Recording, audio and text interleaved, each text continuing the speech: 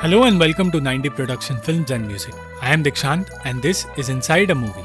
अगर आप इस चैनल पर नए आए हैं तो चैनल को सब्सक्राइब करना और बेल आइकन दबाना मत भूलना इस वीडियो में हम बात करेंगे 1986 की French film Manon of the Spring के बारे में, जो उसी साल रिलीज़ हुई फ़िल्म जॉन द फ्लोरेट का दूसरा पार्ट है हमने जॉन द फ्लोरेट इसी चैनल पर एक्सप्लेन की है और अगर आपने वो एक्सप्लेनेशन वीडियो नहीं देखी है तो इस वीडियो को देखने से पहले आप डिस्क्रिप्शन में दिए गए लिंक पर जाकर वो वीडियो देख सकते हैं जॉन द फ्लोरेट के अंत में जॉन की मौत हो गई थी और जॉन की बेटी मनोन को गलती से पता चल गया था कि उसके पिता की मौत का कारण सेजार और उसका भतीजा उगोलिन है।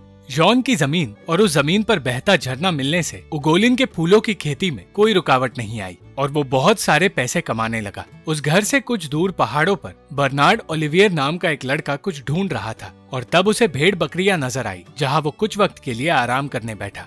पर वो ये नहीं जानता था कि वहाँ मौजूद पेड़ पर मनोन बैठी है। मनोन पहाड़ों पर ही एक छोटे से घर में रहने लगी थी और उसे वो इटालियन पति पत्नी पाल रहे थे, जिन्हें जॉन ने बचाया था। मनोन की माँ एमी शहर में रहती है, पर मनोन उन दोनों इटालियंस के साथ ही रहना चाहती है और उन दोनों ने ही उसे भेड़ बकरियाँ पालना और शिकार करना सिखाया है। एक दिन पहाड़ों पर शिकार करते हुए, उगोलिन ने मनोन को नहाते हुए देख लिया और तब से वो उसी के बारे में सोचने लगा। सेजार ने खुद कभी शादी नहीं की थी। और अब कर भी नहीं सकता था। इसीलिए अपने खानदान का नाम ज़िंदा रखने के लिए वो चाहता था कि उगोलिन शादी करे और अपना परिवार आगे बढ़ाए। अपने दिमाग में उगोलिन ने सोच लिया था कि वो मनोन से ही शादी करेगा। वो दिन रात मनोन का पीछा करने लगा और उसे खुश करने के लिए शिकार में उसकी मदद करने लगा। एक तरफ़ जहाँ उगोलिन मनोन की ओर अट्रैक्ट हो रहा था तो दूसरी तरफ़ मनोन बर्नार्ड की तरफ़ हो रही थी, जो उस गाँव में नया आया था और एक पढ़ा लिखा लड़का था। बर्नार्ड भी गाँव वालों से मनोन की बातें सुनकर उसमें दिलचस्पी लेने लगा था, पर मनोन उसके सामने आने से शर्मा रही थी। सेजार समझ गया था कि उगोलिन उससे कोई बात छुपा रहा है, इसलिए उसने उगोलिन का पीछा करना शुरू किया, और वो समझ गया कि उगोलिन प्यार में पड़ चुका है। उगोलिन का प्यार ऑब्सेशन में बदलने लगा था, और वो मनोन की चीज़ें अपने पास रखकर अकेले में पागलों की तरह बर्ताव करने लगा था। सेजार उसके इस पागलपन को देखकर उस लड़की की पहचान जानने की कोशिश करने लगा, पर उगोलिन उसे बताए बिना ही वहाँ से भाग गया। उगोलिन अपनी जिद पर अड़ा रहा और उसने सेजार के सवालों के जवाब देने से इनकार कर दिया। उसने सेजार से कहा कि वो उस लड़की से शादी करना चाहता है, पर उगोलिन बदसूरत है, इसलिए वो लड़की उससे शादी नहीं करेगी। कुछ वक्त बाद उगोलिन ने उसे बता दिया कि वो लड़की जॉन की बेटी मनोन है और ये जानकर सेजार परेशान हो गया। उसने मनोन को छुप कर देखा और उसकी खूबसूरती देखकर वो उगोलिन की उससे शादी करवाने के लिए मान गया। उसका कहना था कि मनोन को देखकर उसे एक औरत याद आई, जिसे उगोलिन जानता नहीं, पर उसने उस औरत का नाम उगोलिन को नहीं बताया। कुछ दिनों बाद मनोन के लिए खरगोश रखते हुए उगोलिन ने देखा कि बर्नार्ड मनोन से बातें करने उसके पास आया है, और बर्नार्ड ने मनोन को बताया कि वो गाँव के स्कूल में पढ़ाने का काम करता है। उसने तोहफे में मनोन को अपना चाकू दिया, और बदले में मनोन ने उसे वो खरगोश दे दिया। जो उगोलिन की तरफ़ से उसी के लिए तोहफा था। अगले दिन उगोलिन ने मनोन से बात करने का फैसला किया, पर मनोन को उसका चेहरा देखकर अपने पिता की मौत याद आई और वो नफरत याद आई जो उसने सालों से अपने दिल में पाल रखी है। वो उगोलिन से दूर भागने लगी और मनोन का पीछा करते करते उगोलिन ने उससे कह दिया कि वो उससे शादी करना चाहता है। उसके मुँह से ये सुनकर कि वो मनोन से प्यार करता है, मनोन की नफरत और बढ़ गई और इसी के साथ उगोलिन का ऑब्सेशन भी बढ़ता गया। उसे मनोन के बालों का रिबन मिला था। और उस रिबन को उसने अपनी छाती पर सी दिया। मनोन के घर के पास दो गाँव वाले शिकार करने आए थे और उनकी बातें सुनते हुए उसे पता चला कि गाँव का हर एक इंसान जानता था कि जॉन के घर पर एक झरना है, पर किसी ने यह सच उसे नहीं बताया, क्योंकि जॉन उस गाँव का इंसान नहीं था, और इसीलिए उसकी मौत का जिम्मेदार गाँव का हर एक इंसान है। मनोन ये सच सुनकर अपने आप को संभाल नहीं पाई और रोते हुए वो अपना पुराना घर देखने चली गई, जहाँ उसे उगोलिन दिखाई दिया। मनोन बदला लेने के लिए उगोलिन के खेत जलाना चाहती थी। पर जैसे ही उसने आग लगाई, वहाँ बारिश हो गई। अगले दिन वो अपनी बकरियों का पीछा करते हुए पहाड़ों की एक गुफा तक पहुँची और उस गुफा में उसे एक मिट्टी नज़र आई, जहाँ से वो झरना बहता है, जिससे उगोलिन खेती कर रहा है। और मनोन ने अपना बदला लेने के लिए उस झरने को मिट्टी से दबा दिया।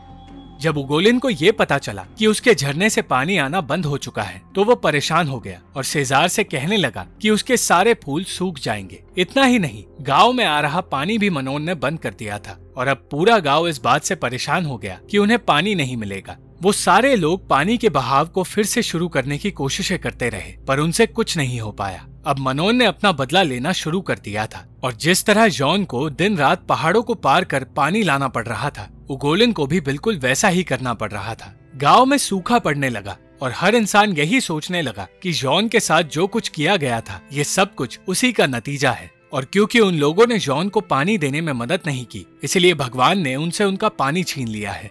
अपनी परेशानियों का हल निकालने के लिए गाँव वालों ने एक इंजीनियर को बुलाया। उस इंजीनियर ने उन्हें कुछ ऐसी बातें कही, जो उनमें से किसी को समझ तक नहीं आई, पर फिर उसने कहा कि वो मैप में देखकर उनका हल निकाल सकता है।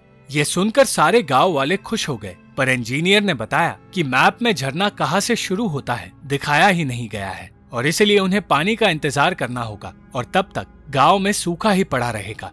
इंजीनियर ने जो भी रास्ते बताए, वो किसी को पसंद नहीं आए। क्योंकि उन रास्तों को अपनाकर पानी वापस लाने में दो सालों से ज़्यादा वक्त लग सकता है। और गाँव वालों के बर्ताव से परेशान होकर वो इंजीनियर वहाँ से भाग गया और गाँव वालों को उनके हाल पर छोड़ दिया।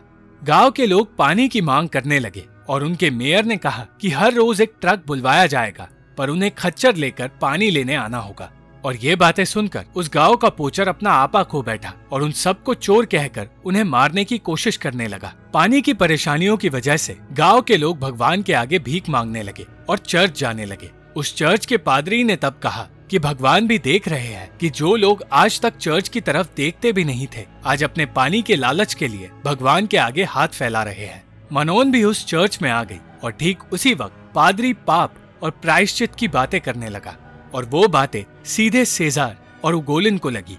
बर्नार्ड ने अपने जन्मदिन के पार्टी में कहा कि उसे लगता है कि पादरी पापों की बात इसलिए कर रहा था क्योंकि वो किसी के गुनाह के बारे में जानते हैं और वो यही बात चर्च में मौजूद लोगों में से किसी एक को बोल रहे थे। पर सेजार ने बर्नार्ड की ये बात अनसुनी कर दी। कुछ वक्त बाद मनोन ने सबके सामने कह दिया कि वो पादरी जिनकी बातें कर रहा था, वो सेजार और उगोलिन है, जिन्होंने उसके पिता का झरना चुराया है और उसके पिता को मारा है। सेजार बिना किसी शर्म के मनोन को झूठा ठहराता गया, पर उगोलिन कुछ नहीं कह पाया। सेजार मनोन को झूठा ठहराकर वहाँ से जाने ही वाला था कि तभी वहाँ वो पोचर आ गया, जिसने सालों पहले उन दोनों को झरने को छुपाते हुए देख लिया था। उसने सारी सच्चाई सबको बता दी, और फिर उगोलिन डर के मारे मनोन से कहने लगा कि वो अपना सब कुछ उसे दे देगा, अगर वो उससे शादी कर ले। वो पागलों की तरह कहने लगा कि वो उससे प्यार करता है, और कुछ देर बाद डरते डरते वो वहाँ से भाग गया। और सेजार भी उसके पीछे चला गया। गाँव वालों ने कहा कि वो सब जानते थे कि जॉन की ज़मीन पर झरना है, पर सेजार के परिवार का साथ देने के लिए उन्होंने सच नहीं बताया। और तब मनोन ने बताया कि सेजार का परिवार उसकी दादी से नफरत करता है, इसलिए उसने ऐसा किया होगा। गाँव वाले ये जानते ही नहीं थे कि मनोन फ्लोरेट की पोती है, और हमेशा से ये सोच रहे थे कि जॉन कोई अनजान शहरी है, और ये सच जानकर उन सबको पछतावा होने लगा। कुछ वक्त बाद सेजार ने एक बच्चे से कहकर गाँव वालों को जॉन के घर बुलाया। वो सारे लोग समझ नहीं पाए कि सेजार आखिर चाहता क्या है, पर जब वो लोग वहाँ पहुँचे तो उन्हें पता चला कि उगोलिन ने आत्महत्या कर ली है। सेजार ने गाँव वालों से कहा कि सबको ये बताया जाए कि उगोलिन की मौत पेड़ से गिरने से हुई है, और जो कॉफिन उसने अपने लिए बनवाया था, वो अब उगोलिन के लिए इस्तेमाल किया जाए।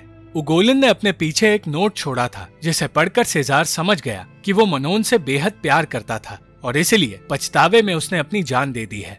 और उगोलिन की मौत के बाद सेजार ने अपना आखिरी वारिस उसी इंसान की वजह से खो दिया, जिसकी ज़िंदगी उसने बर्बाद कर दी थी। बर्नार्ड ने मनोन को समझाया कि उसे उगोलिन के फ्यूनरल पर जाना चाहिए और उसे माफ़ कर देना चाहिए। इस तरह गाँव वालों को उनका पानी भी मिल जाएगा, क्योंकि अगर मनोन ने उन्हें माफ़ कर दिया तो भगवान भी उन्हें माफ़ कर देंगे। मनोन जानती थी कि अगर उसके पिता ज़िंदा होते तो वो ये चाहते कि गाँव वालों को उनका पानी फिर से मिल जाए। और इसलिए बर्नार्ड को सारा सच बताकर उसने पानी का वो झरना फिर से खोल दिया। और उस दिन मनोन और बर्नार्ड को एक दूसरे से प्यार हो गया। गाँव वालों को फिर से उनका पानी भी मिल गया, जिसे वो लोग चमत्कार समझ रहे थे। कुछ दिनों बाद मनोन और बर्नार्ड की शादी हो गई, और एक तरफ़ जहाँ सारा गाँव आज मनोन के साथ था तो दूसरी तरफ़ सेजार हमेशा के लिए अकेला हो गया था। ना तो कोई उससे बात कर रहा था और ना ही कोई उगोलिन की कब्र पर जाता था।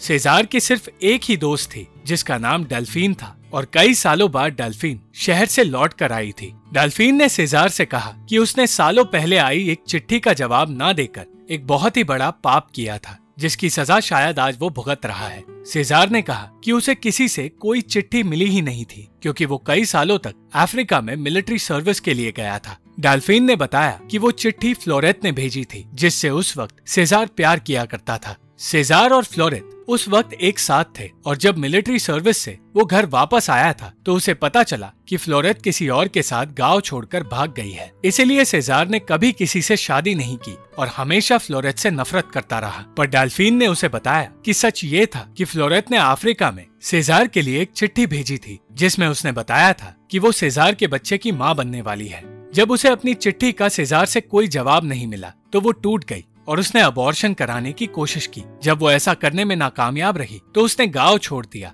और एक आदमी से शादी कर ली, जिसके बाद जॉन के रूप में एक हंच का जन्म हुआ। जिस जॉन को सेजार ने बर्बादी की ओर ढकेल कर मार दिया, वो दरअसल सेजार का ही बेटा था और वही वारिस था, जिसका सेजार को हमेशा से इंतज़ार था। सेजार ने कभी नहीं सोचा था कि उसके पापों की उसे ऐसी सजा मिलेगी। और आज अपनी असली वारिस मनोन के सामने होने के बावजूद वो उससे नज़रें मिलाने की हिम्मत नहीं रख पा रहा। वो हर रोज मनोन के घर के बाहर इस उम्मीद में इंतज़ार करता है कि वो अपनी पोती को पा लेगा, पर वो चाह कर भी उससे बात नहीं कर सकता। अंत में सेजार के जीने की चाह खत्म हो गई और वो समझ गया कि उसका आखिरी दिन आ गया है। उसने अपने पापों का कन्फेशन करने का फैसला किया और मरने से पहले उसने मनोन के लिए एक चिट्ठी छोड़ी, जिसमें उसने बताया कि जॉन सेजार का ही बेटा था। वो बेटा जिसे उसने कभी ठीक से देखा ही नहीं और ना ही उसकी कभी आवाज़ सुनी। इसी पछतावे के साथ सेजार की नींद में ही मौत हो गई। सारा सच उस चिट्ठी में लिखने के साथ साथ उसने ये भी लिखा कि अपनी सारी जायदाद वो मनोन के नाम कर रहा है, क्योंकि मनोन ही उसकी असली वारिस है।